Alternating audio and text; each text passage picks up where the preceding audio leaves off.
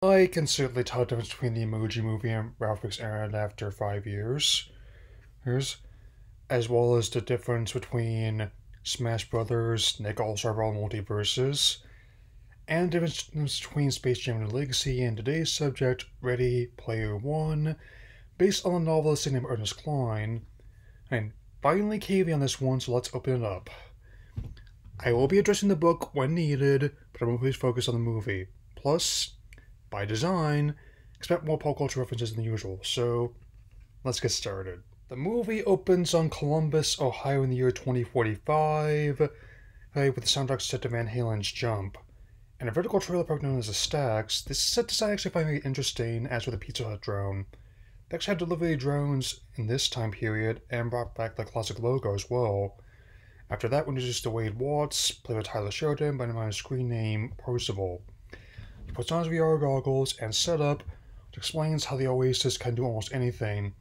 As creator, James Halliday was seen as a visionary in the vein of both Steve Jobs and Willy Wonka.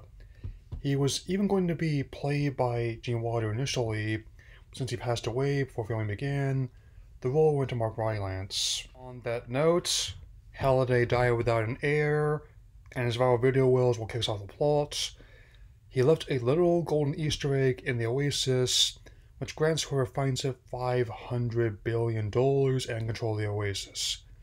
I won't be going over all the connections I see, but I will point out the ones that stood out to me. Example. It's one thing to enjoy Star Trek, it's another heavy funeral flowers shaped like the Enterprise, the Starfleet insignia, and a Baden replica of the Mark IV torpedo from the Wrath of Khan. Anyway, a video will has the message from his avatar and the all-knowing, Egg being behind three keys copper, jade, and crystal. One affected change from the book is that Parzival and everyone else have already been on the hunt for a year before the film's events. That includes his friend H, who's one artifact on planet Doom known as Gregarious 120, a gauntlet that gives a wearer the ability to transform into any giant robot for 120 seconds. Not a lot of time on paper, but enough for a single fight. Also, we intentionally not mentioning who H really is. We'll get to that when the time comes. I will mention that the copper key is in Delta City from Robocop, and we see Murphy as one of the many cameos in the movie. It's a prize for a race, and naturally there are three speeds to join Parzival are Sonic, Speedy Gonzalez, and Tracer Overwatch. The race features everything from the George Barris Batmobile, the Mach 5, the Intercept from Mad Max, and the monster truck Bigfoot with H behind the wheel, that last one. Parzival's car is a mix of the Ectomobile from Ghostbusters, the DeLorean the Future trilogy, and Kit's Dash from Knight Rider. Our villain is Nolan Sorrento, played by Ben Mendelsohn, who has had a rival company IOI. His army of employees known as Sixers to find the egg, and mercenaries will address later. Do admittedly like the use of I Hate Myself for Loving You by Joan Jett, and these arc words. First the key, first the egg. There's so much going on in this race that I decided to wait for Blu-ray and digital releases, including Kaneda's motorcycle from Akira and its writer, Artemis. I'll also not mention who she really is just yet, and that, that comes later. Find the like a Rex and Jurassic Park eating Jack Slater from Last Action Hero amusing, in a movie which co-writer Zak Penn scripted before. He also co-wrote both The Avengers and X2, so his experience of balancing both large casts and spectacle.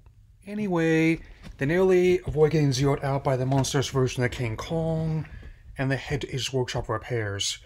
Prince's I Want to Be Lovers playing background music, and Ace is building their own Iron Giant. Don't much add about the discourse hers, hers about the usage here. I'll point out it's actually used by the villains in the book, and its main heroic robot was actually a Leopardon from the Japanese Spider-Man series. Really excited to see Takuya next Spider-Verse. Puzzle artists converse about the clues first key, mention how this favorite multiplayer game was GoldenEye, without being all job and slobbers only. Mine is Smash Brothers, Pikachu, and Saffron City. As his favorite restaurant being Chuck E. Cheese. Was that before or after they moved to the rivals at Showbiz Pizza? After her bike is fixed, Artemis logs out. I'm thankful the cyberstalking subplot was was cut when Cline covered the script with pen. Back in the stacks, Way returns home to Aunt Alice, played by Susan Lynch, and her lover Rick, played by Ralph Ineson. Basically, imagine this Petunia and Vernon Dursley story, you're not too far off. Also note that while Wade in the book was more portly and blemished, Tye Sheridan is much more slender and clear-skinned version of the character. Not a big deal. Frodo and Sam were in the 50s in the books, but I believe both Elijah Wood and, Sean Astin were younger than that when they filmed the movies. I will just steal the next adaptations as they come. There's a slight uncanny valley looking feel, you know, to the avatars in the film. I do like how the designs are based on the user's looks and personality, no different than how someone make their me or their character in World of Warcraft. On that note, Parzival visits the curator of the Halliday Journals, played by Simon Pegg, walking into Faith by George Michael. Oh, Pegg also plays Ogden Morrow, Holly's former partner. Basically, so Mr. Wilkinson meets Steve Wozniak. His American accent, this can be dire flashbacks. Simon, Bubby, regular accent's fine. It's why so many people love you. Looking at the files, Parzival comes between a meeting between Halliday and Morrow, with Morrow not being a big fan of rules and games. Allows ousted over it. Well, that's why they have them, if they don't always make sense. So Mario gets big from eating a mushroom, but dies when gets hit with a turtle shell. Why Sonic can run supersonic speeds, but sinks like a rock in water. My Pokemon trainer can walk around the water age 10, monsters with their belts, but can't climb a ledge on their own. Parzival discovers something he missed, going backwards. The next day, he, he puts his plan into effect, which gives him the copper key and the clue the J key. Artemis closely follows as does H, as well as Daito, played by Morisaki, and younger brother Shoto, played by Philip Zhao. They're collectively known as the High Five from that day forward. This rankles Sorrento and the rest of Lotus IOI, including finale Zandor, played by Hannah John Kamen. She's not been coming actress I really like, and that's because she's a ghost in the MCU and coming back for the Thunderbolts. Sorrento's plan with IOI, should they gain control of the Oasis, is to overload with paywalls and microtransactions. So, not a stretch looking at EA, Konami, and Activision Blizzard. That said, Parzival does win money in his account for finding the key and gets a Zemeckis Cube, even paying homage to fellow visionary director, the Holy Hand Grenade from the Holy Grail, and upgrade X1 haptic suit. There's also an auction bomb called the Cataclyst, which will be important later. Also enjoy the use of Stand On It by Bruce Springsteen. Sorrento has his own VR rig, which kind of resembles Palpatine's throne. All that have so many Easter eggs on screen that I find most interesting visually are the trailer stacks, and the villain's game chair. Here's IROC played by T.J. Miller in A Tribe of the Worlds. This movie is at least better than the 2005 remake of that. IROC is a mixture of Skeletor and Saruman, while his dumb muscle in the book is arguably one of the most, not the most lethal mercenary IOI has in a payroll. Hmm. The next clue is being deciphered among the high five, and once it's cracked, they will find the J key. Wade finds a lead, and goes to the archives of Artemis, who slips in disguise as Goro of Mortal Kombat alien chestburster are still filming the reboot. I'm glad the sequel's still ongoing. Anyway, Halliday Moore had falling out with a young woman named Karen Underwood, later became Lyra's departed wife. Her avatar was called Kira, the female girlfriend in the Dark Crystal.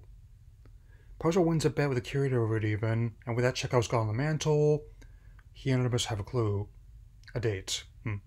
That night, Parzival scrolls through the skins of Prince and Purple Rain, Michael Jackson thriller, Brazilian's favorite film and character, Buckaroo Banzai.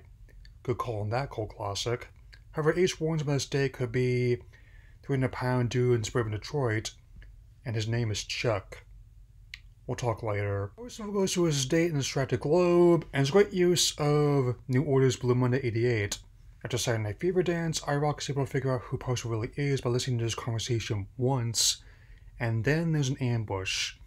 IROC is able to figure out who posted over.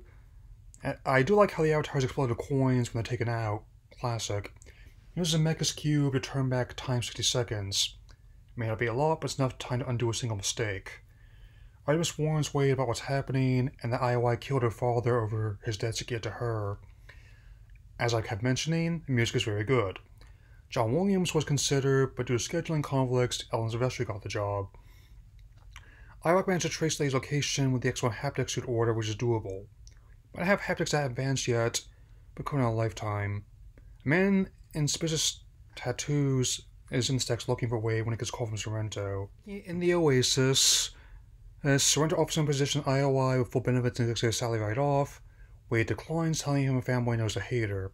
He responds by having the stacks bond, dismissing places like Ghetto Trash White Woman in Columbus. The Wade's aunt, uncle, were neglectful, this drives him off the deep end, and he willingly attack this place because how many casualties are going in the process. Also, killed Daito in the book, and I'm grateful the movie let him live. On that note, Tattoo Man actually got him safety. His name is played by character actor Lawrence Spellman. Artemis is actually Samantha Sam Cook, and Wade still think she's pretty even with her scars. Couple things. Haynes. Scars less severe than the book, and holy shnikey, that's Olivia Cooke. Short order, Way meets the other members of High from real life, including H. She's actually a black woman named Helen, Lena Waithe. While some people had issues with this change, I'm actually glad the film was under Avatar. I think it would have been like a repeat of the live action Ghost in the Shell remake if it hadn't. Sam has cracked the second clue and is connected to Stanley Kubrick's A Shiny, and yes, it did mention how keen disliked the film adaptation. Just glad Halliday didn't take care of the Lawnmower Man. All joking aside, the sequence is actually a highlight in terms of both visuals and tone. Major props to cinematographer Janusz Kaminski, visual effects supervisor Roger Guyett, and two editors, including frequent Spielberg collaborator Michael Kahn, where they're due. Much like the Clockwork Orange Droogs and Second Space Jam, they had to clear the red tape of Kubrick's estate, and they said yes. With some teamwork and quick thinking, they were able to get the J key, only one left to unlock the egg. Halfway through this, just about, how does it have the clue, the final key? Hmm. And or decides to use Sam to get to Wade, and their hideout is raided. Sam agrees to come quietly, giving them eyes on the inside. The Hive have a mobile setup in H's van, just in time for their challenge. Wade has knowledge of Nolan's office, including his password that he just leaves on his chair. Hey, stop doing that when I was younger than him. The final challenge Anorak's Castle on Planet Doom involves Atari 2600 and its complete library of games. Also, if we look closely, that does include the infamous adult games, which tried way too hard to be adult and not hard enough to be games. IROC activates the Orb of Osuvox on the final challenge, and they're able to get the stamp's access codes before it's too late. Wade also sends a call to action for the entire Oasis, leading to a final battle that spans nearly the entire third act. Kicked out to Twisted Sisters, we're not going to take it. Here is where I make my biggest confession on this film. The scene was meant to be its selling point, but I actually saw it as a deterrent. I mean, on the surface level, it looks good and very much like the reported they had $175 million budget. The problem is not only is so busy, it becomes visual white noise. I don't really feel connected to what's going on. Look at the stampede of Chun-Li, Tracer, Lara Croft, Samus Aran, the Bay Ninja Turtles, and Spurs of Halo and just went, eh, it's there. I stood firm for five years, and at the time, I didn't go. They bet $10 on me, they lost. Granted, some things more effective than others. I was amused by the Madball grenade in this line. It's fucking Chucky. Well, there's a PG team, folks.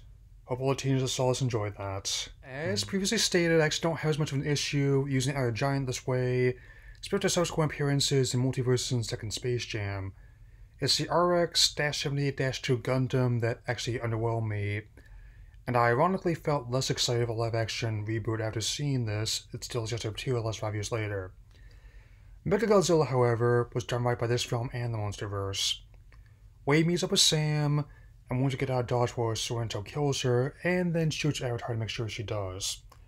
Why Parzival had, had to do this in both versions, but still kind of a cheap shot. He does use a holy hand grenade to break through the defenses. One, two, five, three, sir, three. Sorry, I couldn't resist. Wade determines answers in adventure, but it's not about winning, it's about playing. And Sorrento demands that the last king exchange $50 million or he'll use a Cataclyst to bomb the whole planet. Wade refuses and a fight ensues. I will admit the Street Fighter moves, including Hadouken and Groin Attack, was pretty cool. I'm still keeping an eye on the film reboot. Sorrento activates a Cataclyst, taking out everyone but Wade, who only survives because of the extra life from before. Wonder if he also had any save backups. Win the challenge, and pass you test a character, Wake is a crystal key and the Easter egg from the Essence of Halliday. As for who he really is, somebody he's an NPC. A non-player character with his likeness. Say that not to be insulting, but to be accurate. They close the narration in a way that has Sorrento as the list arrested, mostly on silent partner, and hinting to control the Oasis. I actually don't mind the Furlough Daisy ads, and him getting the girl with Sam is a classic ending. I Also, like these, a whole nother to make my dreams come true to all the credits. So, while this may not be my favorite Spielberg film ever, my relationship has changed with it in the last half decade. I used to think both the movie and the book a little more than YA power fantasy, and still holds true to an extent, but looking again in a post COVID landscape, it was incredible how it plays out. Given how some fandoms and WB have been the years since, the Patrol's actually kind of sweet if they don't have the same enthusiasm others did. Admittedly, it would not make a bad adaptation to Smash Brothers. It did make about $137 million domestically and about $592 million worldwide on a $27 million budget, so it has some audience. Some people liked it, others didn't, and this thing is okay. My final rating is 2.5 stars to 4. That'll be all for now. I'll see you all again soon. Take care, everyone. Hmm.